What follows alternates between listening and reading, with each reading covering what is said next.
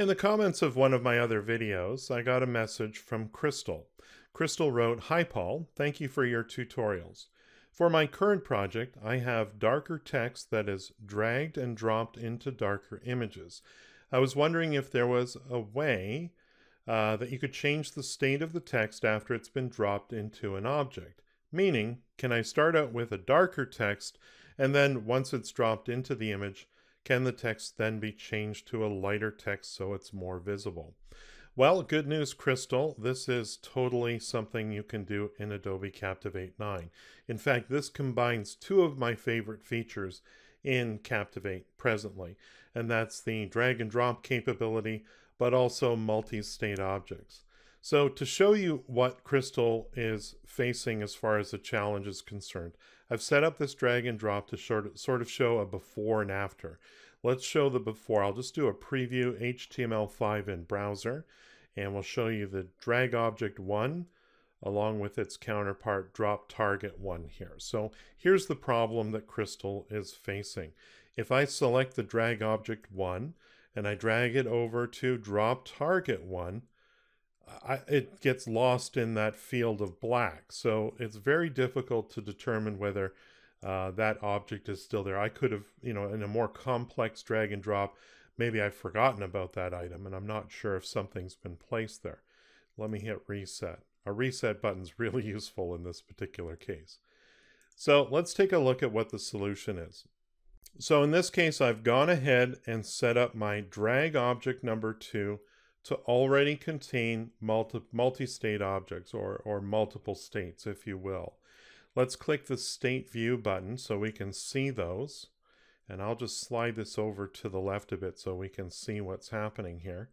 So the default or the normal state is just what you see here. It's a black text with a completely transparent background for that smart shape.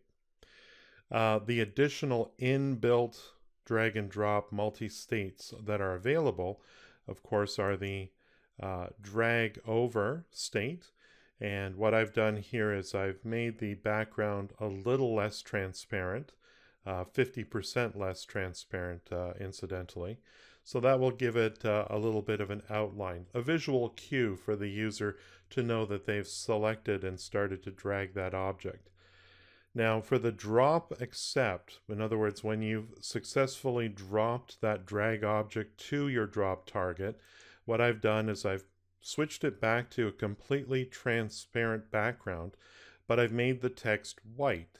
It doesn't look good here because we're on that, that lighter shade background, but once you drop this on the black drop target, it'll look fine, of course.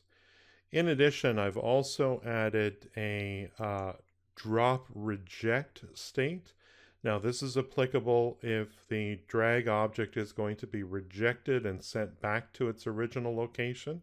So I thought making it red, sort of like, you know, incorrect, uh, would be appropriate. And we'll see this in action because I've actually set up the drop targets to reject anything other than the correct answers. And the final thing is the drop start. So when you start dragging an object over, but before you've reached a drop target, I'm going to have it go to 100% opacity or not transparent at all. Again, the same white background with the dark text. So let's exit this state and let's take a look at what this looks like. Hopefully this solves Crystal's problem and uh, gives you guys some ideas of how you can make your drag and drops a little bit more interesting looking. So again, remember our original drag object again gets lost in that field of black. That's not very good at all. Let's try our drag object number two. So if I select it, it turns white and I've got that background. And as I roll over one of the drop targets, it becomes semi-transparent, 50% transparent. And I'm going to let it go here, but this isn't the right place for it. So the drag and drop interaction is going to reject this drag object and send it back to its original spot. Remember, I set this up to turn red momentarily. And that's exactly what happens. So now when I drag it over to the correct location, again, it starts off white, then goes to that semi-transparent look. Now if I release it here, this is the correct place for it to go.